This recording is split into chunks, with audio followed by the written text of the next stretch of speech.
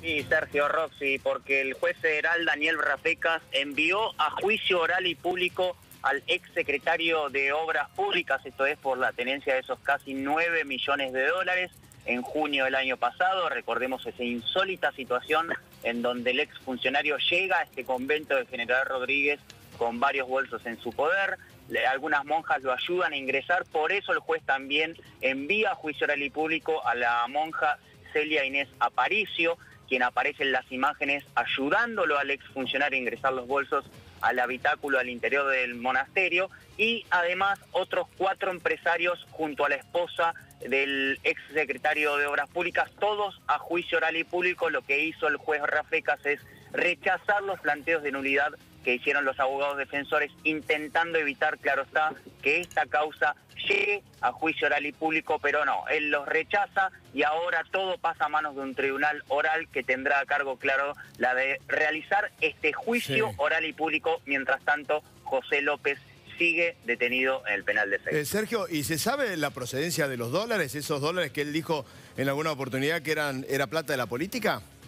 No, Sergio, eso es algo que lamentablemente nunca se pudo seguir. Por un mm. lado, claro, como vos decías, él dijo esto proviene de la política, mm. pero nunca más se decidió hablar. Incluso luego de esa declaración eh, evitó ampliarla ante el juzgado federal que sigue adelante esta causa. Y además el juzgado lo que se hizo es un estudio de trazabilidad del dinero para ver eh, cuándo había sido importado, quién lo había importado pero finalmente no, hubo información alguna. ¿Y dónde está ese dinero? ¿Se sabe, Sergio? Sí, en el Banco, en el banco Central tendría que estar. Está en el Banco Central, está secuestrado en el Banco Central esos casi 9 millones de dólares con 150 mil euros, mm. algunos relojes y otros artículos, porque recordemos que la justicia no solamente lo envía a José López por estos bolsos con dinero, sino también porque lo cree el verdadero propietario de la casa de Dique Luján en la localidad de Tigre, donde él vivía junto con su mujer, donde sale aquella noche antes de llegar al monasterio de General Rodríguez y eh, él dice que alquilaba esa propiedad. Bueno, para la justicia no la alquilaba, sino que era su verdadero dueño. ¿Y de, qué tiempos hablamos? Eh, ¿El comienzo del juicio oral sería cuándo? Mira, Roxy, si hay voluntad, esto podría realizarse el año próximo. Eh, lo que se hace es eh, la llegada a una instancia de un tribunal oral donde se notifica a las partes de cómo está compuesto el tribunal, por si hay alguna objeción, y luego sí se hace lo que se llama la instrucción suplementaria. Fijan qué testigos van a declarar en el juicio. Mm. Y ahí ya se fija la fecha. Si hay voluntad, esto puede realizarse tranquilamente el año próximo. ¿no? Qué, bárbaro que la justicia dependa de la voluntad, ¿no? Increíble. es increíble.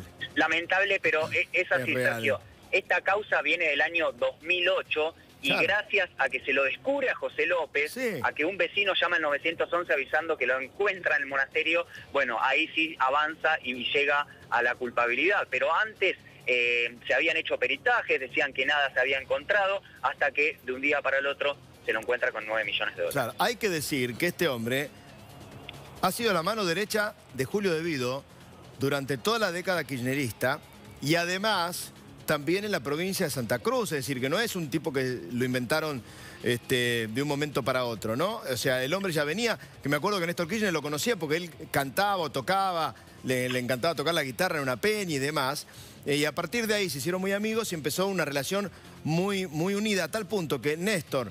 Em, López y Julio De Vido prácticamente habían formado una misma estructura con respecto a la obra pública, ¿no?